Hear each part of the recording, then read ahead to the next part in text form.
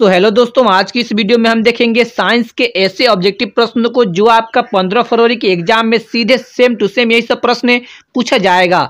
ठीक है, क्योंकि यही सब प्रश्न वायरल प्रश्न है तो आइए हम इस वीडियो के सभी प्रश्नों को एक एक करके देख लेते हैं। और इसमें से जो भी प्रश्न आपको याद न हो, उसको ज़रूर याद कर लीजिएगा। ठीक है तो आइए हम इस वीडियो के सभी प्रश्नों को एक एक करके देख लेते हैं। इसमें पहला प्रश्न है, पवन विद्युत जनित्र में पवन की चाल कम से कम होनी चाहिए। पवन विद्युत जनित्र में पवन की चाल, यानी कि वायु की चाल कम से कम कितनी होनी चाहिए? सही उत्तर हो जाएगा ऑप्शन ए, पंद्रह किलोमीटर प्रति घंटा। ठीक है सही उत्तर हो जाएगा ऑप्शन ए। आइए हम अगले प्रश्न को देखते हैं। अगला प्रश्न है कि विद्युत चुंबक के बनाने के लिए प्राय किस पदार्थ के छड़ का उपयोग होता है? तो इसका सही उत्तर हो जाएगा ऑप्शन सी, नरम लोहा। करेक्ट ऑप्शन ऑप्शन सी हो जाएगा। तो आइए इसके अगले प्रश्न को देखते हैं। इसमें अगला प्रश्न है, आवर्त सारणी में कितने आवर्त हैं? तो इसका सही उत्तर क्या हो जाएगा? ऑप्शन ए हो जाएगा सात। करेक्ट ऑप्शन है ऑप्शन ए हो जाएगा अवर सारणी में। अवर्तों की संख्या सात है। तो आइए हम इसके अगले प्रश्न को देखते हैं। इसमें अगला प्रश्न है कि एथीन के एक अणु में दो कार्बन परमाणुओं के बीच आबंधों की संख्या कितनी होती है? बताना है कि एथीन के एक अणु में, यानी कि दो कार्बन परमाणुओं के बीच की आबंधों की जो संख्या होती है, वह कितनी होती है? तो इसका सही उत्तर हो जाएगा ऑप्शन ए, दो होती है। Correct option A option A हो जाएगा। आइए हम इसके अगले प्रश्न को देखते हैं। अगला प्रश्न है कि निम्नलिखित में से कौन भूमिगत जल का उदाहरण है? इसमें हमें भूमिगत जल का उदाहरण को बताना है। करेक्ट ऑप्शन हो जाएगा ऑप्शन बी कुआँ। सही उत्तर हो जाएगा बी कुआँ। ठीक है तो आइए हम इसके अगले प्रश्न को देखते हैं। इसमें अगला प्रश्न है कि मनुष्य की कोशिका में गुणसूत्रों की संख्या होती है। बताना है कि मनुष्य के कोशिका में गुणसूत्रों की संख्या कितनी होती है? तो इसका सही उत्तर हो जाएगा डी छियालीस होती है। इसका करेक्ट ऑप्शन ऑप्शन डी हो जाएगा। यहाँ पर बहुत सारे स्टूडेंट यहाँ पे कंफ्यूज कर जाते हैं। कभी कभी इसका उत्तर होता है तीस, लेकिन कब? जब उसमें युग में या जोड़ा क्वेश्चन में पूछा रहता है, तब हो जाता है करेक्ट ऑप्शन तेईस। यदि क्वेश्चन में युग में कहे या जोड़ा कहे तो तेईस पर टिक कीजिएगा। अगर युग में जोड़ा न कहे तो छियालीस पर टिक कीजिएगा। ठीक है, उम्मीद करता हूँ कि आपको यह समझ में आ गया होगा। आइए हम इसकी अगले प्रश्न को देखते हैं। इसमें अगला प्रश्न है कि हवा या निर्वात में प्रकाश की चाल होती है। बताना है कि निर्वात में प्रकाश की चाल क्या होती है? करेक्ट ऑप्शन हो जाएगा ऑप्शन ए तीन गुने दस पर आठ मीटर पर सेकेंड। करेक्ट ऑप्शन ऑप्शन ही हो जाएगा। आप लोग इस सभी भी इंपोर्टेंट ऑब्जेक्टिव प्रश्नों को याद कर लीजिएगा, क्योंकि यह सब प्रश्न आपके एग्ज़ाम सीधा पूछा जाएगा। ठीक है सेम टू सेम तो आइए हम इसके अगले प्रश्न को देखते हैं। तो इसमें अगला प्रश्न है कि निम्नलिखित में किसका उपयोग लेंस बनाने के लिए नहीं हो सकता है। बताना है कि इनमें से हम किसका उपयोग नहीं कर सकते हैं लेंस को बनाने के लिए।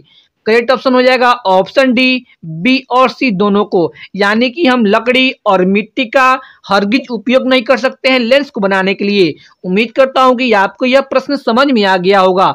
ठीक है तो आइए हम इसके अगले प्रश्न को देखते हैं। इसमें अगला प्रश्न है कि उपचयन वह प्रक्रिया है जिसमें बताना है कि उपचयन वह कैसी प्रक्रिया है? वही हमें बताना है। तो उपचयन में क्या होता है? उपचयन में हाइड्रोजन का योग होता है, यानी हाइड्रोजन जुड़ता भी है और हाइड्रोजन का हारास यानी हाइड्रोजन की परमाणु संख्या घटता भी है और इलेक्ट्रॉन का त्याग भी होता है। यानी सही उत्तर हो जाएगा ऑप्शन डी सभी। करेक्ट ऑप्शन ऑप्शन डी हो जाएगा। यहाँ पर इसके विपरीत होता है अपचयन। आप लोग इसको भी याद कर लीजिएगा। अपचयन में क्या होता है? अपचयन में होता है ऑक्सीजन का ह्रास, यानी कि ऑक्सीजन घटता है और हाइड्रोजन का योग, यानी कि बढ़ता है किसमें अपचयन में। यहाँ पर आप कंफ्यूज मत होइएगा। ठीक है तो आइए हम इसके अगले प्रश्न को देखते हैं। इसमें अगला प्रश्न है कि खड़िया का रासायनिक सूत्र क्या है? बताना है कि खड़िया का रासायनिक सूत्र क्या होता है? सही उत्तर हो जाएगा option C C S C O three यानी कैल्शियम कार्बोनेट को ही हम लोग कहते हैं खड़िया। ठीक है करेक्ट ऑप्शन ऑप्शन सी हो जाएगा। आइए हम इसके अगले प्रश्न को देखते हैं। अगला प्रश्न है कि आहार नाल का सबसे लंबा भाग है। बताना है, आहार नाल का सबसे लंबा भाग कौन होता है? सही उत्तर हो जाएगा ऑप्शन बी, छोटी आठ सही उत्तर ऑप्शन भी हो जाएगा। आप लोग इस सभी प्रश्नों को एक एक करके ज़रूर याद कर लीजिएगा। और साथ ही अगर अभी तक इस वीडियो को आप लाइक नहीं किए हो तो वीडियो को लाइक कीजिए। और चैनल पर नए हो तो चैनल को भी सब्सक्राइब कीजिए। क्योंकि यहाँ से आप एक क्लास टेंथ की ऑल सब्जेक्ट की बेहतरीन तरीके से तैयारी कर सकते हैं। ठीक है तो आइए हम इसके अगले प्रश्न को देखते हैं। इसमें अगला प्रश्न है कि रक्त में आयरन की कमी से होने वाला रोग है। बताना है कि रक्त में आयरन की कमी जब हो जाती है तो उससे कौन सा रोग होता है? सही उत्तर जाएगा anaemia correct option option C हो जाएगा। ठीक है, आइए हम इसके अगले प्रश्न को देखते हैं। अगला प्रश्न है कि कौन विद्युत का सर्वोत्तम चालक है? बताना है कि इनमें से कौन है जो विद्युत का सबसे अच्छा चालक है? करेक्ट ऑप्शन ऑप्शन बी हो जाएगा ए जी यानी कि चांदी। ठीक है? ए जी किसका संकेत होता है? वह होता है चांदी का।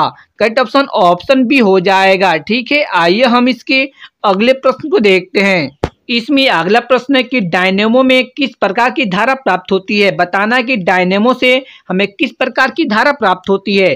करेक्ट ऑप्शन ऑप्शन ही हो जाएगा। डीसी धारा, यानी कि DC current correct option option ही हो जाएगा। ठीक है?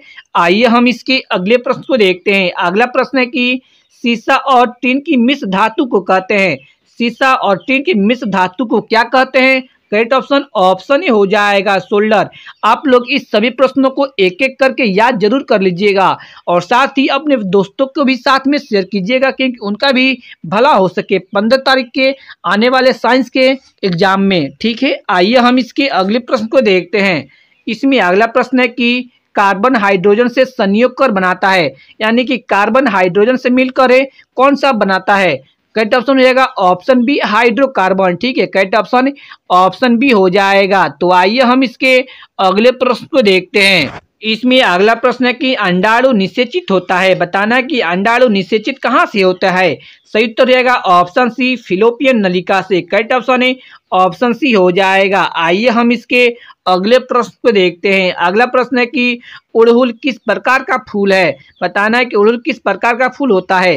करेक्ट ऑप्शन ऑप्शन ए हो जाएगा दुई लिंगी ठीक है? करेक्ट ऑप्शन है ऑप्शन ए हो जाएगा। आप लोग इस सभी बीबीआई इंपोर्टेंट ऑब्जेक्टिव प्रश्नों को याद ज़रूर कर लीजिएगा, क्योंकि यही सब प्रश्न आपके एग्ज़ाम में सेम टू सेम सीधे पूछा जाएगा। यह मेरा गारंटी है, ठीक है? तो आइए हम इसके अगले प्रश्न को देखते हैं। इसमें अगला प्रश्न है कि लोहा, निकेल और क्रोमियम के मिश्र धातु को क्या कहते हैं? बताना है कि लोहा, निकेल और क्रोमियम के मिश्र धातु को क्या कहते हैं?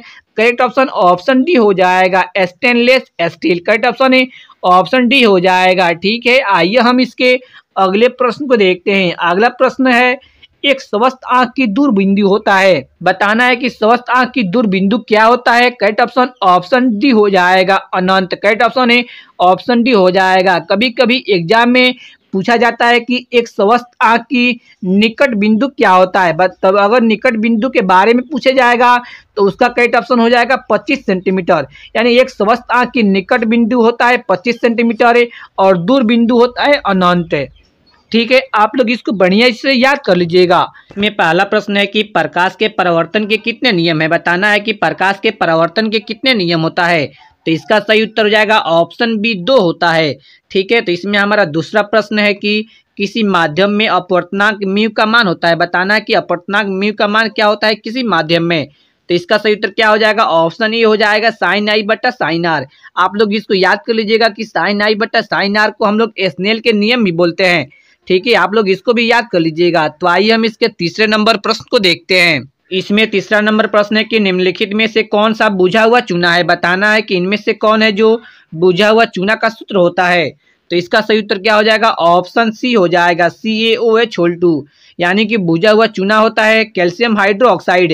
सही उत्तर हो जाएगा ऑप्शन सी। और आप लोग साथ में यह भी याद कर लीजिएगा कि जो बिना भूजा हुआ चूना का सूत्र होता है, वह होता है सी ए ओ ठीक है? यह होता है बिना भूजा हुआ चूना सी ए ओ होता है बिना भूजा हुआ चूना, ठीक है? आप लोग इसको भी याद कर लीजिएगा। तो आइए हम इसके चौथे नंबर प्रश्न को देखते हैं। इसमें चौथा नंबर प्रश्न है कि कोई बिलियन नीले लिटमस पत्र को लाल कर देता है तो इसका पीएच मान होगा। बताना है कि कोई बिलियन दिया गया है, वह नीले लिटमस पत्र को लाल कर दे रहा है तो वह बिलियन का पीएच मान क्या होगा? तो नीले लिटमस पत्र को लाल करता है, वो कौन सा बिलियन होता है? वह बिलियन होता है, अम्लीय बिलियन होता है। तो अम्लीय बिलियन का पीएच मान कितना होता है? वह होता है सात से कम, यानी कि इसमें के सही उत्तर क्या हो जाएगा? इसका सही उत्तर हो जाएगा ऑप्शन ए पाँच, ठीक है? इसका सही उत्तर हो जाएगा ऑप्शन ए। तो आइए हम इसके पाँचवें नंबर प्रश्न को देखते हैं। आप लोग इस सभी प्रश्नों को एक एक करके याद कर लीजिएगा, ठीक है? क्योंकि ये सब प्रश्न काफ़ी वीवीआई प्रश्न है। ठीक है तो आइए हम इसके पाँचवें नंबर प्रश्न को देखते हैं। इसमें पांचवा नंबर प्रश्न है कि पौधों में वाष्पोत्सर्जन किस भाग में होता है? बताना है कि पौधों में वाष्पोत्सर्जन किस अंग से होता है? तो इसका सही उत्तर क्या हो जाएगा? ऑप्शन सी हो जाएगा। पत्ता के द्वारा होता है वाष्पोत्सर्जन पौधों में, ठीक है? इसका सही उत्तर हो जाएगा ऑप्शन सी। तो आइए हम इसके छठे नंबर प्रश्न को देखते हैं। इसमें छठा नंबर प्रश्न है कि दो तंत्रिका कोशिका के मध्य खाली स्थान को कहते हैं। बताना है कि दो तंत्रिका कोशिका के मध्य जो खाली स्थान होता है, उसको हम लोग क्या कहते हैं? तो इसका सही उत्तर जाएगा ऑप्शन बी, सिनेप्स कहते हैं, ठीक है? इसका सही उत्तर क्या हो जाएगा? ऑप्शन बी हो जाएगा। आप लोग अभी तक के इस चैनल को सब्सक्राइब नहीं किए तो चैनल को ज़रूर सब्सक्राइब करें, क्योंकि इस चैनल पर आप क्लास टेन के बेहतरीन से बेहतरीन तरीके से तैयारी कर सकते हैं, ठीक है?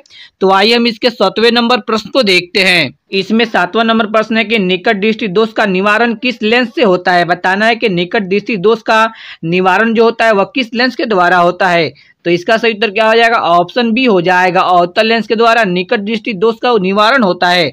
और साथ में आप लोग यह भी याद कर लीजिएगा कि जो उत्तर लेंस से होता है, वह होता है दूर दृष्टि दोष का निवारण। ठीक है, आप लोग इसको भी याद कर लीजिएगा। तो आइए हम इसके आठवें नंबर प्रश्न को देखते हैं। आठवां नंबर प्रश्न है कि प्रतिरोध का एस आई मात्रक होता है। बताना है कि प्रतिरोध का एस आई मात्रक क्या होता है? तो इसका सही उत्तर क्या हो जाएगा? ऑप्शन बी हो जाएगा, ओम। ठीक है? इसका सही तो हो जाएगा ऑप्शन बी और साथ में आप लोग यह भी याद कर लीजिएगा कि जो वोल्टेज होता है उसका ही मात्रक होता है वोल्टेज और आप लोग साथ में यह भी याद कर लीजिएगा कि जो विद्युत धारा होता है, यानी कि जो करंट होता है उसका ही मात्रक होता है एम्पियर ठीक है, इसको भी आप लोग याद कर लीजिएगा। आठ नंबर का सही उत्तर क्या हो जाएगा? ऑप्शन बी हो जाएगा ओम। तो आइए हम इसके नौवे नंबर प्रश्न को देखते हैं।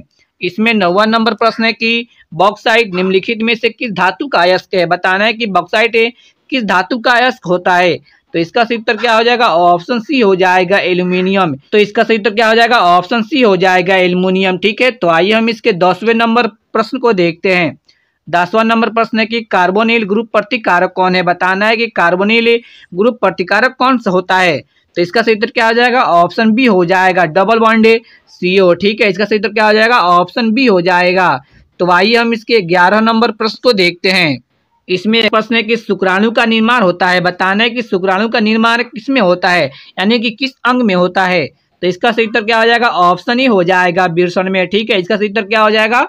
ऑप्शन ही हो जाएगा। तो आइए हम इसके अगले नंबर प्रश्न को देखते हैं। इसमें अगला नंबर प्रश्न है कि द ओरिजिन ऑफ़ स्पेसिस पुस्तक नामक किसने लिखी? बताना कि जो पुस्तक है द ओरिजिन ऑफ़ स्पेसीज यह पुस्तक को किसने लिखा है? तो इसका सितर क्या हो जाएगा? ऑप्शन ए हो जाएगा डार्विन यानी कि चार्ल्स डार्विन ठीक है? इसका सितर क्या हो जाएगा?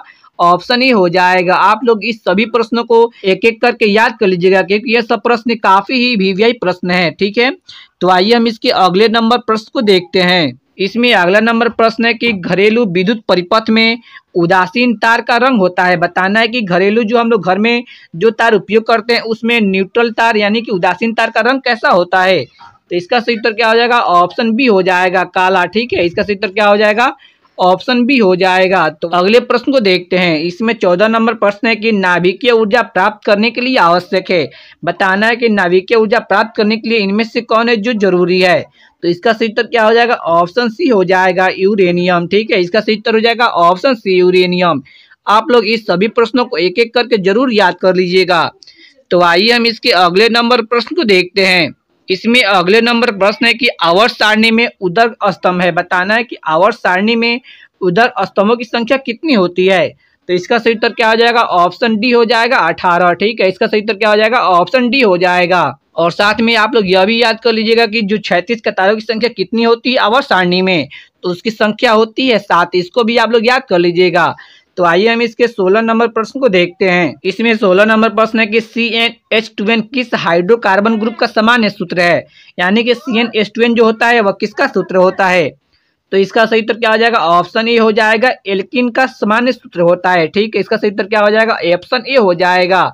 और साथ में आप लोग यह भी याद कर लीजिएगा कि जो एल्केन का सामान्य सूत्र होता है, वह होता है C N S two N plus two और जो एल्काइन का सामान्य सूत्र होता है, वह होता है C N S two N minus two ठीक है?